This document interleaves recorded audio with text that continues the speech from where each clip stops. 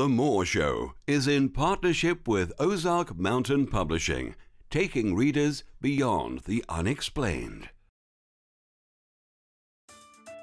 If you like what you watch, then don't forget to follow us on Facebook and Twitter for the latest updates on The Moore Show. Remember to subscribe to our YouTube channel for new weekly television and radio shows.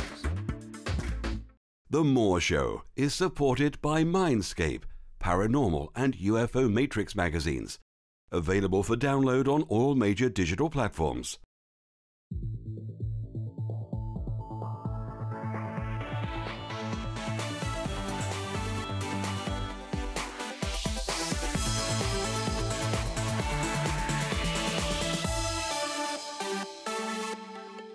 The comments and views expressed on The Moore Show are those of the people that make them and do not necessarily reflect the view of Kevin Moore, The Moore Show, or this radio station and its affiliate or sponsors. This show is for entertainment purposes only.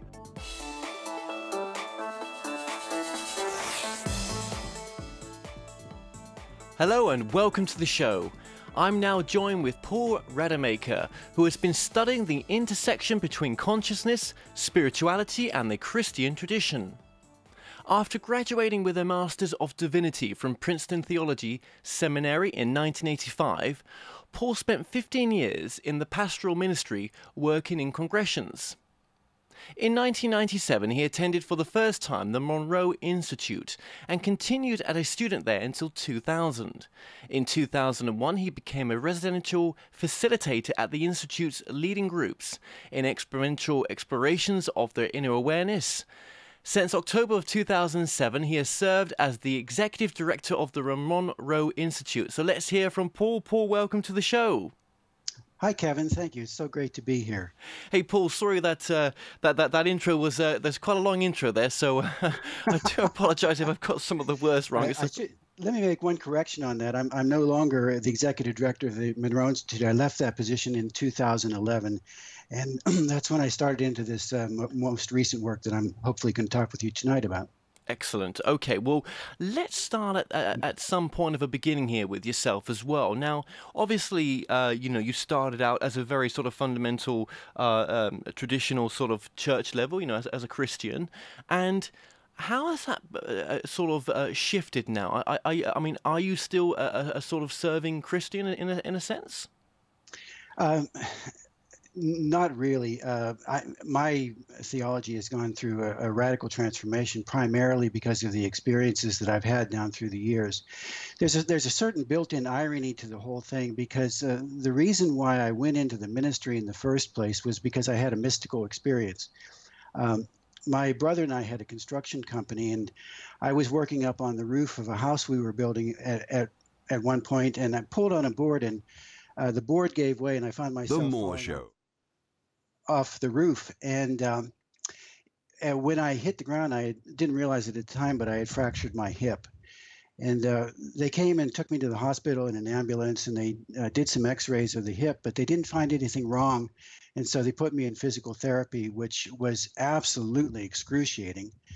But uh, when the doctor saw, found out that I was having such a hard time, he took some additional X-rays, and that's when they found the fracture. And when he came and told me that I was going to be off work for about six weeks or so, I found myself going into a spiral downward of pain and anxiety. And it was a literal thing. I could actually feel myself spiraling downward. And all of a sudden, I, hit what seemed to be the bottom of something. I don't even know what it was to this day. And when I hit that, I broke through into another world entirely. And in that other world, that other dimension, all of the pain and all the anxiety completely disappeared. I entered into what has been called the, the peace that passes all understanding. And I knew beyond a shadow of a doubt that there was no such thing as um, accidents. Everything had meaning and purpose, including this apparent accident. And at one point, I found myself standing in front of a being of light, and we're conversing about my life, but we're not using words in any way whatsoever. It's more of a telepathic kind of communication prior to that experience, I had been wrestling with the question of whether or not I should enter into the ministry because I, I came up in a traditional, uh, even very conservative fundamentalist uh, tradition. And when I had that experience, I thought, well, surely that's the answer to that question.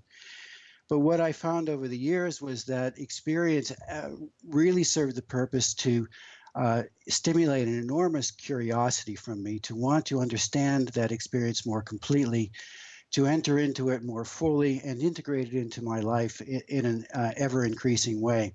So, uh, that, as I say, was kind of ironic because uh, that very experience of the mystical took me into the ministry, but it wasn't long before I found out that there wasn't a lot of conversation about that kind of experience within the ministry.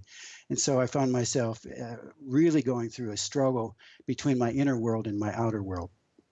Okay, so let let me uh, just sum this up as well, so I've, I've got got got this right as well. So this experience that you had, um, this the, uh, how did this sort of lead on as well to to you uh, knowing that that life is continuous and there there there, there you mm. know there is no uh, um, um, um, sort of end in a sense and and that you know uh, again, I, I, let me just sort of sum up what you've said as well. That that that mystical experience that you had, um, was there also uh, more to it than that in the sense of some of the information that came through as well?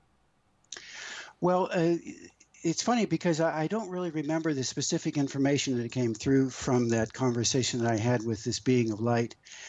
Uh, I think it really set the stage more for a, uh, the journey to continue from that point on. Right. So even though I went to the, into the ministry, and I, I have to tell you that I was a part of a, a very mainline, uh, very kind of uh, middle of the road church, and in fact, we we had the nickname of being the frozen chosen and so there wasn't a sense of of much exploration happening uh, outside of the normal uh, confines of that tradition but i found myself because that hunger that had been created was so deep i found myself continually going off into other um, explorations of other conferences uh, seminars reading all kinds of books that i would never tell anybody about. Because you see at that time I had uh, I still do had three children and a wife that I needed to support, and um, the way I made my money was to be a pastor, and it, I didn't really want to jeopardize that, so I had to kind of go through this clandestine. Um, search to to find something that really fed me on that level that I experienced in in that mystical uh, realm. And it was a couple of years after that happened that I ran across a book um, I walked. I was up in Toronto, Canada, and walked into what was then the world's largest bookstore. And I, I was in there just a couple of minutes, and I had one of those experiences, you know, where one book kind of jumps off the shelf at you. And it was Robert Monroe's second uh, book. It was called Far Journeys, and he talks. Uh, Robert Monroe was one of the pioneers uh, in ex- exploration of the outer body uh, experience. And when I read that book, I was absolutely thunderstruck because here for the first time was somebody who was talking about things that had happened to me, but he wasn't doing it from a dogmatic perspective or from a perspective of philosophy. He was just talking about his own personal experience. It was very, very compelling to me. I got to the uh, back of the book and, and I found out that there was a place called the Monroe Institute, and I where I could actually go to learn about these things and practice them. And I thought to myself, the first thought was, wouldn't it be amazing to go to a place like that? And the second thought was, wouldn't it be amazing to work at a place like that?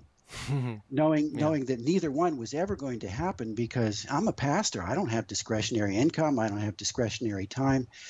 And uh, but I think it was about ten years after that, a friend of mine actually paid my way to go to the Monroe Institute. And when I went there, my first course, that world, that uh, world beyond the physical uh, opened up in living technicolor. It was like for me a dream tr- come true because this was the most important in life thing in life as far as i was concerned.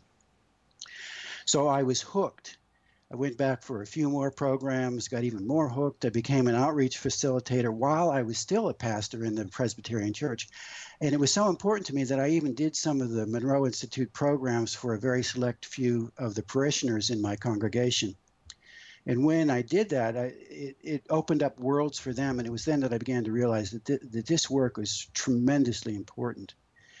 Um, and, but that also aggravated that tension all the more. And so finally, in the year 2000, I decided I needed to leave the pastorate and I needed to follow this other path. I wanted to write about it. And uh, two months after I walked out of the church, I got a call from the Monroe Institute asking me if I wanted to be a, a facilitator on campus.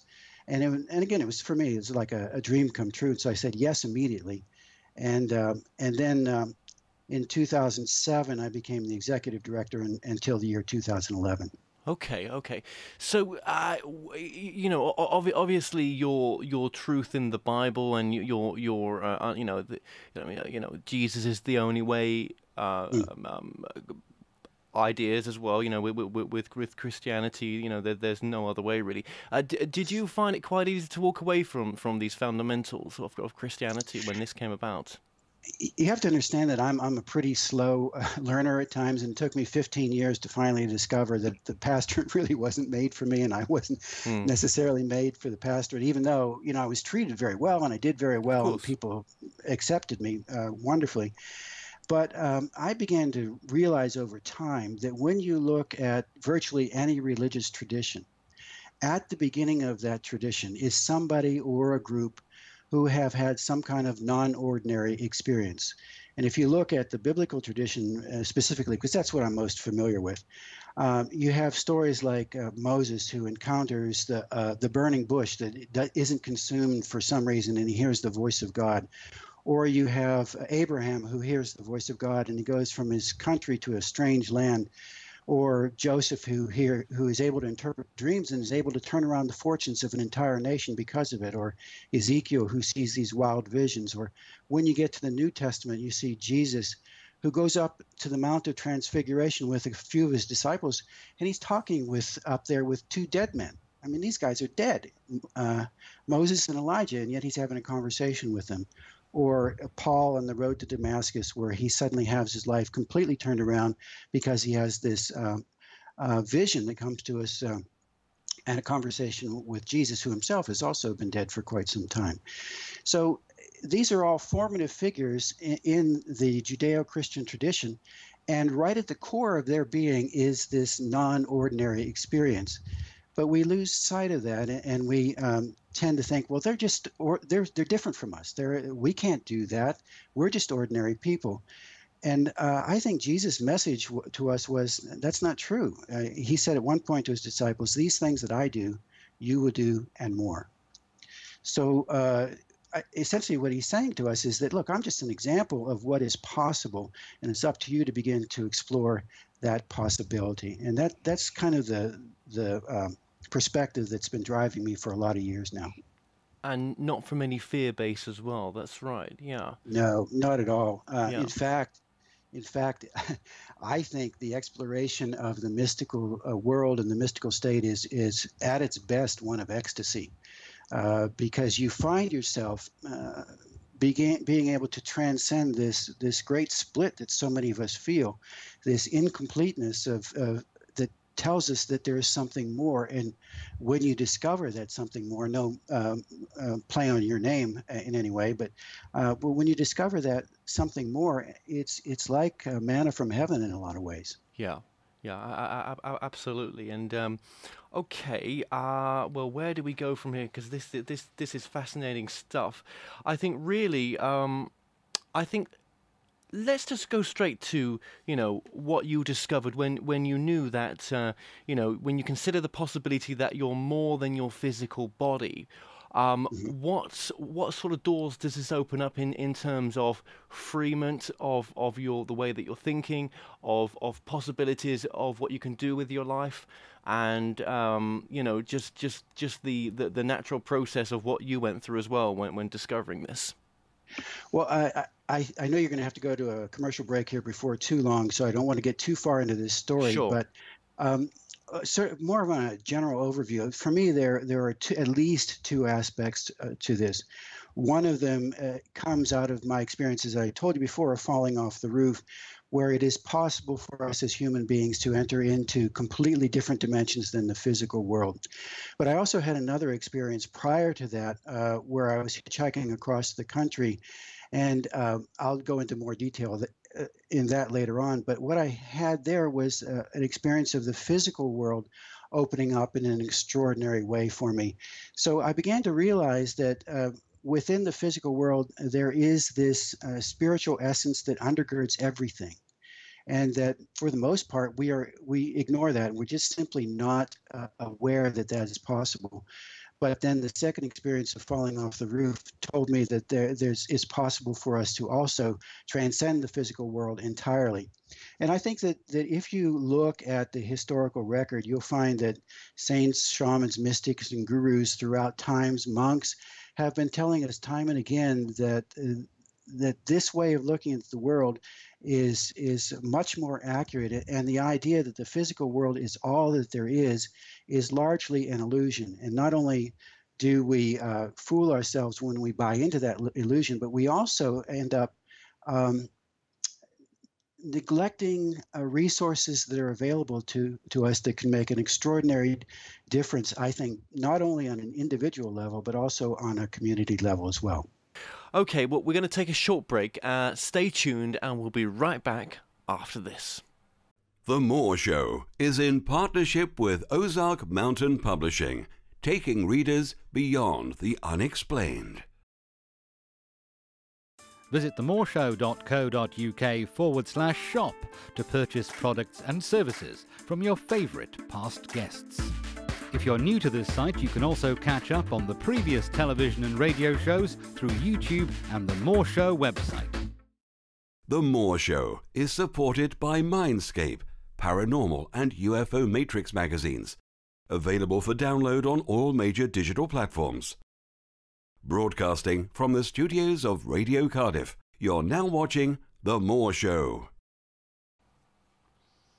Welcome back. I'm uh, currently joined by Paul Rademacher, and we're discussing the Monroe Institute exploration of the human consciousness and various mystical experiences, including out of body experiences, traveling to other dimensions, and interacting with those who have passed away. So, uh, Paul, uh, your latest book, A Spiritual Hitchhiker's Guide to the Universe, which we'll get into in this section as well. Great name, by the way. um, you know, I wish it, I could take The Moore Show it, it, is supported by Mindscape, for that. No, Paranormal, like say, and name. UFO. Um, yeah, uh, but. Um, we were just before the break there we were talking about the possibilities that we are more than our bodies and right. and what this what these implications have yeah i think one one of the uh, great implications is that uh, you know um, joseph campbell uh, did some marvelous work years ago around the whole uh, issue of myth and he talked about the hero's journey as being uh, one where the hero would leave the confines of the normally accepted and clearly defined physical world and enter into another dimension or another world of some kind. And um, we tend to think of that as being the whole hero's journey, but uh, Campbell made, I think, a very, very good point. He said that that's only the start of the journey. The really hard part and the most important part is to come back from those experiences and then try to tell others about it and to try and make an impact on the basis of, of what you've learned in that process. And I think that, that we're kind of at a stage right now where I think a number of people have been exploring these these realms on an individual level. But I think we're, we're it's now time for us to begin to start using what we've learned and gather a community together that can make an impact on the physical world to the point where we now start not to just have two separate worlds but to the point where they start to begin to integrate one, one with one another. And when you start to move in those realms and you i think uh, you're you're then at that point uh, beginning to move in the realms of your deepest passion and in uh, those areas uh, that have a lot to do with why you came into the world in the first place. You know, we have so many people out there who who uh, just feel like their life is meaningless, that it lacks purpose. And uh, I think a lot of the reason is is because as a society we have so thoroughly outlawed anything beyond the physical experience that we're kind of limping through life uh, as as not complete people but fractions of people. And we know that something is missing but we can't often put our, our words around it or uh, point to it because our society just doesn't have the words for it. It doesn't have the the structures for it. But i think it's time for us to begin to then to create those structures that will help people to more and more consistently discover those aspects of their life that are missing at such a deep and important level. And I think uh, uh, that's the direction my life is heading, and I think a lot of other people are picking that up as well. Okay, okay. So, so, um, uh, like um, I was saying to a previous guest on this show as well, um, we can embrace these teachings as well for, for for those who are going through, you know, a rough time right now. For example, uh, maybe Absolutely. financially, maybe um, um, um, uh, relationship wise, maybe both, right? Sure and by by I'm guessing well, I'm sort of paraphrasing what you're saying here, but by understanding the game in a sense that that you've chosen to come here, you've you know you're you're you're playing a character in a sense. Um, mm-hmm.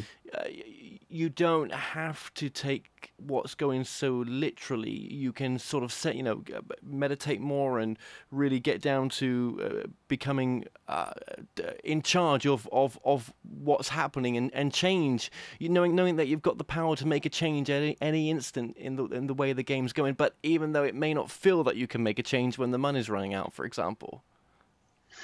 Yeah, you you said a lot there that I I, could, I, I think I could talk uh, for hours on, and and um, um, let's see how much of it we can get into. Um, I think a lot of it has to do with understanding a different context for your life. For most people, and the way we've been raised uh, in our educational system, the way that we look at the world from our scientific worldview, the way that business operates, uh, we think of our lives as as uh, really being bounded by two bookends. On the one, there's birth; on the other, there's death. And this me, this person that I am, is directly tied to that time frame between birth and death, and it's directly tied to this physical body. And that's a certain context in which you can view your life. It can be a very legitimate context and a very important one at certain uh, aspects of your journey. But when you begin to understand that there's there's an aspect of your being that that goes outside of those bookends, that that transcends the physical body, that uh, lives beyond the confines of time, and you not only know that because somebody else has told you or you've read it in a book, but you've actually experienced it. At that point, your life becomes lived in a very different context. And so the value system uh, of that context is very different from the value system that says we're nothing more than a physical body and that this sense of who I am, this I dies when my physical body dies. Because once you move beyond those bookends, then you then you really have to look at questions like, you know, why am I here? Uh, who am I in the larger sense of things? What is my purpose and what is my destiny, not only in this earth, but what is what is my uh, walking through this uh, Earth time, what impact does it have in the, the larger context of life? And those those get to be really interesting questions, and uh, and they they put a, a, different spin on on our, our work in this world for sure. Okay, and um, of of course then you know, with this work as well, you can prove to yourself, in a sense, that you know life continues by, uh, which we talked about in the, in the intro, meeting a, a, a, love relative that's passed on by going by going right. through. Um, is it is it regression that, that we're talking about here, in a sense? Well, you can, you can certainly do it through regression, and, and lots of people have had experiences that generally that that uh, regression uh, will often be um, people exploring past lives or future lives or something like that. But it's also possible when you get into these deeply meditative states to um, encounter uh, loved ones uh, who say who have passed on to the other side. I, I had an experience of this myself, uh, again at the Monroe Institute, my first program. Uh, my father had Alzheimer's disease, and uh, as far as we could tell, for about 12 years before he died. And on the night he died, I was at his bedside, and at, by that point in time, he really didn't know who we were. He didn't know who he was but there was this glimmer of uh, just the slightest lucid moment and i at that moment i leaned over to my dad and it was just the two of us in the room. And i said dad when you get to the other side will you come back and, and tell me what it's all about? And he, he just nodded ever so slightly. It would it turns out that those were the last words that i would ever speak to my father while he was uh, uh alive. Um, fast forward then about seven years, and I find myself at the Monroe Institute. And I'm going through this process, and I'm uh, moving through a space that is not uh, a physical space. I don't really know what it was, but I, there was a sense of movement. And as I'm moving along, to, off to my left, I noticed that there was this circle of light beings, and I almost dismissed it and kept on my way. And I said, "Whoa, wait a minute! That you don't see that every day. Let's let's go find out what that's about." So as I came to this circle, I it parted very slightly, and I could look. I looked down, and at the at the on the floor uh, of this circle of light beings was this person who had obviously come over from just having passed over from the life and through death. And when I looked even more closely, I suddenly recognized it as my father. Now, remember, my father has died seven years before. Yeah. And now, seven years later, I'm in a position where I am welcoming him over to this to the land beyond death and it was uh, stunning to me. And, and that may seem like a very odd thing until you realize that when you get into this work and you start to move beyond the physical confine, confines, time does not have at all the same sense that it does uh, in this world. And so seven years is like nothing there. So here I am, uh, and uh, instinctively I pick my father up in my arms and I start walking with him, and he's so weak and so limp from the struggle that he's been through that he can't even respond. He's just draped in my arms, and this is all. But yet, I, am It's all very natural. For some reason, I I know instinctively what to do, and I'm I'm telling him what's going to happen from that point on. And after a while, uh, one of the beings of light comes to me and takes my father from me, and he says, uh, "We can take him now. His family's coming." And um, you've done a great service. And I'm thinking, well, I've, I've done a great service. Well, I don't even know what I'm doing really or how this is happening. And yet here I am. And when I came out of that experience, I was so overwhelmed that, that you know, I couldn't even begin to uh, put it into words because it was such an emotional thing for me because it was nothing I, I could have ever imagined happening. And yet here it was. Uh, and it was happening to me, just an ordinary guy. And, uh, and it it really changed my perspective yes. on this idea that that there's this impenetrable veil between life and death. I don't think it's impenetrable at all. In fact, uh, I think we're deeply influenced, uh, and vice versa, without even knowing it most of the time. So, so obviously, you know, like I said, said, in the, said in the beginning of the show, you know, your your book, A Spiritual Hitchhiker's Guide to the Universe, what does the book sort of tell us about the, the reasons of, of why we're here as well? Or does it does it even touch on that? Um, I, I, I, that's a great question, by the way. Um, I think it does by implication. Uh, what I've learned through the years and what I learned in my work at the Monroe Institute that uh, my job is not really to supply the answers for other people. Uh, my job is is simply to create a context in which people can explore for themselves, because there's a very different category of knowing between um, having somebody else explain it to you and having the actual experience. Um, you can go to say Paris, France, and, and um, try to tell somebody about it, but you, you you can't convey the experience uh, uh, in any way, shape, or form as if somebody was actually to go there themselves. And it's the same with this kind of work. Um, all we can do is to pique curiosity, uh, create the experience for people. And then once they have the experience, then they can put their own philosophy to it, their own words to it. Uh, that makes sense to them uh, based on their background. And that's an evolving process that happens over time. It isn't something that happens, uh, you know, with the first experience.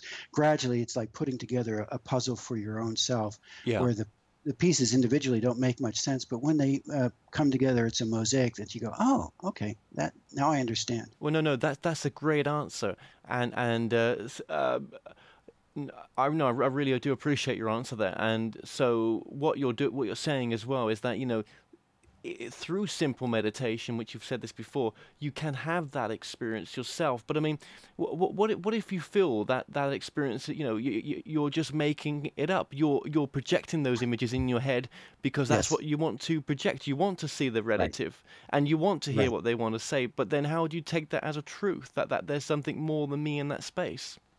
You know, that, and again, that's another great question, and it's a question that dogs a lot of people uh, in in this work, um, and I can only answer that for myself. Uh, when you find that that you are uh, going into these other realms and you're bringing back information that is relevant to your life in the physical world that's one indication that that you've got something that's important that's happening. When counselors and advisors start to come to you in a non-physical form and what they say not only makes sense but it has an impact on your life and on other people's lives that's another indication. But one of the i think one of the greatest ways to to uh, answer that question uh, is to tell you another story about what happened to me. Yeah, please. Um, at the Monroe Institute, uh, there are there are what they call focus levels. These are different discrete states of, of consciousness and awareness that you can go to uh, via the system that they put together. At, well, at one point, I was going to. Uh, they were taking us for the first time to Focus 21, and Focus 21 for me, I found myself flying over this city of light. And when I say that, it wasn't a city that was lit up by uh, neon bulbs or incandescent bulbs, but the actual buildings themselves were glowing uh, from within, and it was it was uh, a beauty beyond words. Um, and so uh, I was so excited about that. I went and explored different places within this this city and rushed from one place to the other to the other. At one point, I found myself in this auditorium of filled with people of light, and I'm talking to a being of light again, and he's standing off to my left, and he says, "Welcome." And I said, well, "What do you mean, welcome?" And he says, "Well, we've been expecting you." And I said, "What do you mean you've been expecting me? I don't even know where I am." And he says, "Well, that's okay." And at that point, I looked over to my right, and there's an, a woman who's not uh, lit up like everybody else, but he, she's like I am. So, anyway, I come out of that experience and I'm just in a state of awe. And after you go through the experience and the group comes together, and uh, you're able to talk about what happened to you. And so, the one of the first women who uh, raised her hand, she said, "You know, I went to the city of light," and she began to eh, uh, talk about some of the same things that I had experienced in there. And I was thinking, "Oh my gosh, somebody else is able to verify this experience. It's incredible." And I was waiting and waiting. And finally, I put up my hand and I said, You know, I went to the City of Light too. And the woman says, Yes, I know. I saw you there. Now, mind you, you know, we're not in the physical body in any way, shape, or form. We're not in this, even in the same room when those experiences were happening. We have no contact whatsoever. And yet, here's somebody else who is able to verify the experience. To make it even more interesting, after we were done with the group, we were going to the next experience, and another woman in the group comes up to me and she says, "I want to go to the City of Light too." And I said, "Okay, I'll take you there." I don't know why I said that. I just said, "Okay, I'll take you there." In the next experience, suddenly she popped up in view to me, and I said, "Oh yeah, that's right. I was supposed to take you there." And I grabbed her arm, and we just went up to the sky and we're flying over the city, and I let her go afterwards, after this experience, I saw her again before we were meeting as a group, and I said, "Hey, I took you to the City of Light, didn't I?" She says, "Yes, I know, but you and you practically tore my arm off." So when you start to get that kind of verification, verification, then you start to realize, hey, maybe this is more than just my imagination. No, again, that's a great story, and that's a great way of answering the question. And uh, you know, I wish we could all have those experiences, but uh, you know, there's a lot of uh, there's a lot to think about that that that story because it resonates um, a lot of truth as well. So, okay, well, we're going to take a short break. Uh, stay tuned, and we'll be right back after this. The Moore Show is in partnership with Ozark Mountain Publishing, taking readers beyond the unexplained. If you like what you watch, then don't forget to follow us on Facebook and Twitter for the latest updates on The Moore Show. Remember to subscribe to our YouTube channel for new weekly television and radio shows. The Moore Show is supported by Mindscape, Paranormal and UFO Matrix magazines, available for download on all major digital platforms. Broadcasting from the studios of Radio Cardiff you're now watching The Moore Show. Welcome back to the show. I'm still joined with my guest, author, and uh, Paul Rademacher of the book A Spiritual Hitchhiker's Guide to the Universe. And uh, this has been a, a really uh, fascinating um, interview with yourself, Paul. And I know that uh, I wish we had more time, like I say to all my guests, because it's, it's difficult sometimes with such in depth stuff to, to skip Absolutely. over everything. but we're trying to fit this on for te- television as well. So, okay, um, sort of jumping in there, um, you know I did ask you before the break, just you know, to sort of sum, try to summarize what, in your opinion, why you think we we are here. Why, what, what, what if we're more than our, more than our body? Why would we choose these difficult lives? Do they? I mean, they don't have to be so difficult, but why? Why do we? Why do we tend to to come down here? Um, I think I'll have a better answer to that question when I when I uh, get to the other side. But my provisional answer at this point is that I think there's something that we learn that is extraordinarily valuable uh, to us uh, when we uh, re- revert to our non-physical uh, form. There is uh, an education of the soul, a deepening of the spirit, um, an intensifying of compassion um, any number of different things. And I, by the way, I, am not sure I, I, that everybody comes here for the same reason. I think many people come from for different reasons. But that's kind of my provisional answer for myself at this point in time. Yes. Um, and that's about as good as I can do. Okay, no, that's a great answer. That's a great answer. And and how has your family, uh, you know, sort of taken your your, your t- t- take your work? I mean, how does your kids, as they've got got older, uh, is there an interest from them with what you're doing as well, and and from your wife? Uh, uh, amazingly, yes. Uh, uh, you know, it, it's it's bad enough that my kids had to grow up as a pastor's uh, children, but then uh, a pastor who's gone off the deep end into this into stark raving madness. For some reason, they still think that that's pretty interesting and pretty cool and uh, they talk about my book to their friends very openly. Um, there, uh, I've got a daughter and my wife who are involved in creating this uh, this next business that is very much wrapped up in what we've been talking about. That's right. So uh, I've had enormous amount of support from my family, and I couldn't ask for more. Oh well, that's that's really beautiful. And let's go straight to it because what you're doing here is. Well, I think r- rather rather interesting and rather important. But um, uh, just explain uh, the the new business that, that that venture that you're about to kick off, and when does it start as well?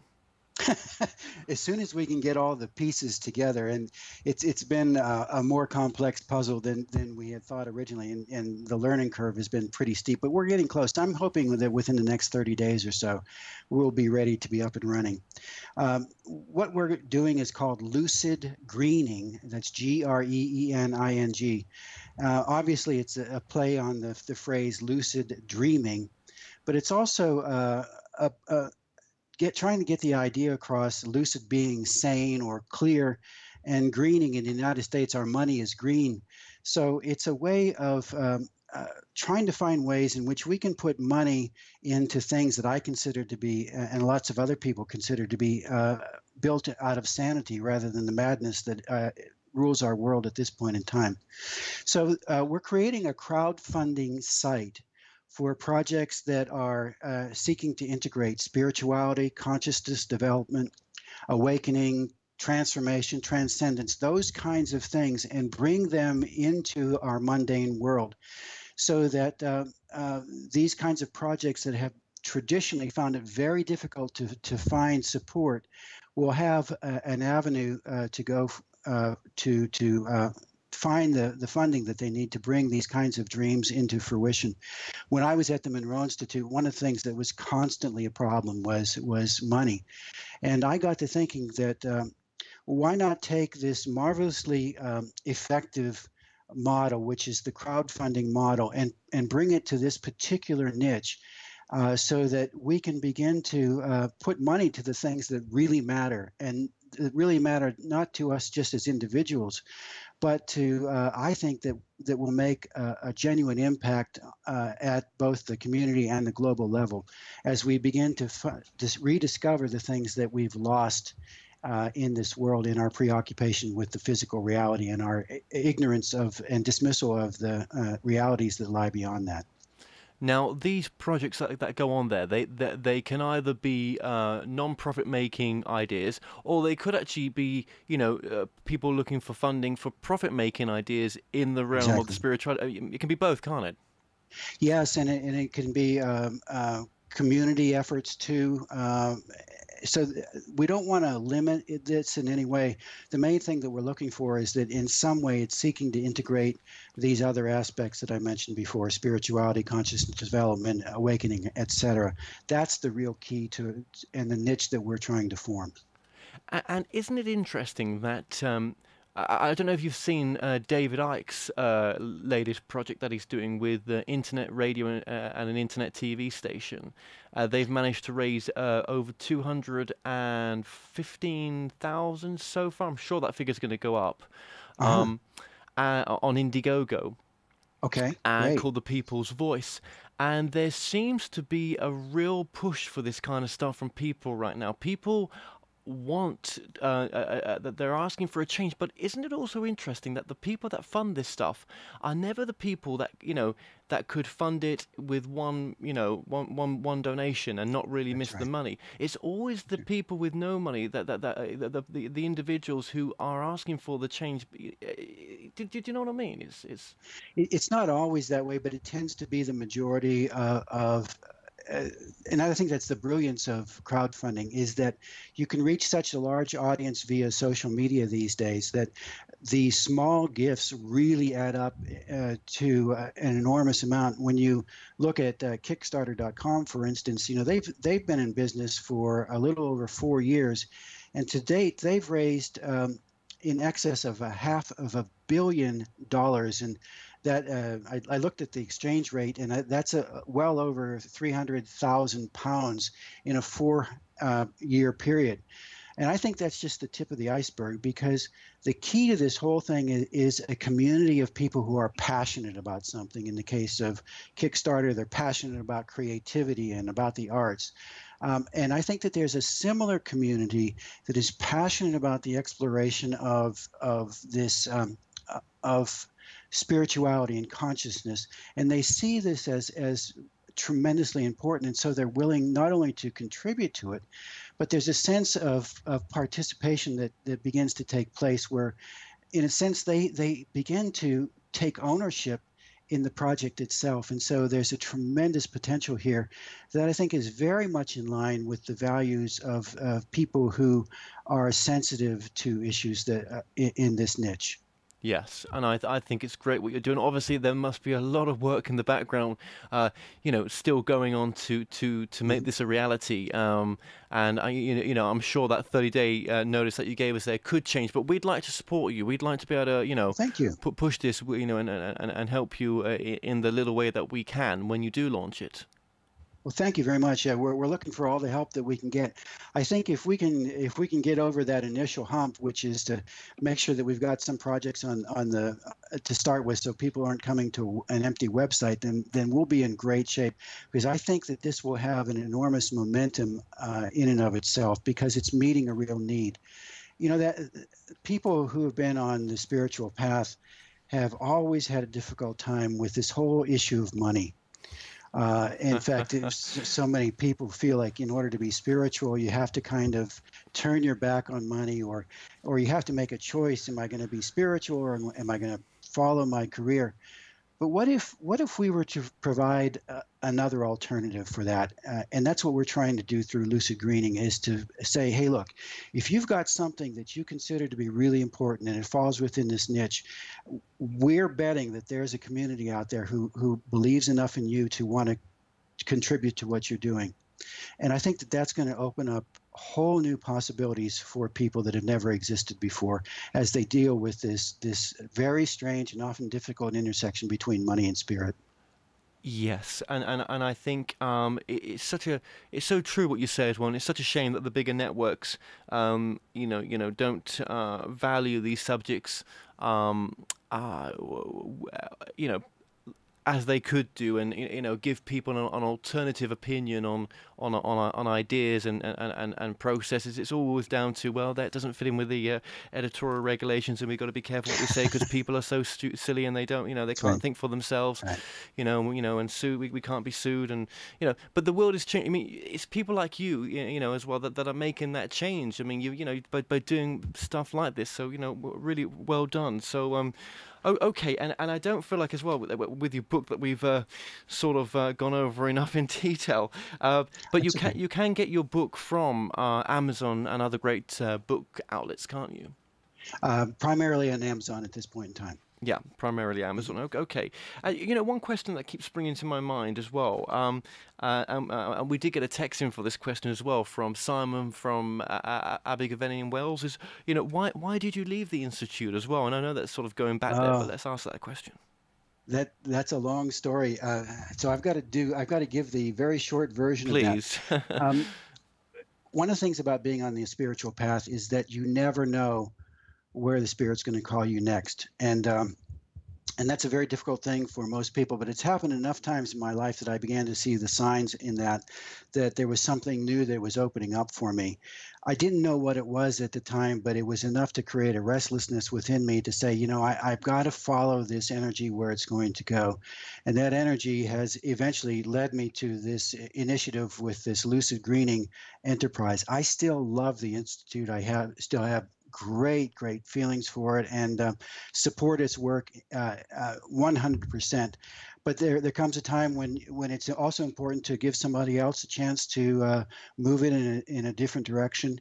And uh, so the timing was right. Uh, my inner leading was right, and so on. So I haven't regretted it at all. Well, wonderful. Again, you know, you, you know, trust your feelings, like you like you said in the interview, and you know, and believe that uh, you know that you can succeed if it's if it's something that you're really passionate about about seeing through, no matter what shifting sand is going on under your feet as well.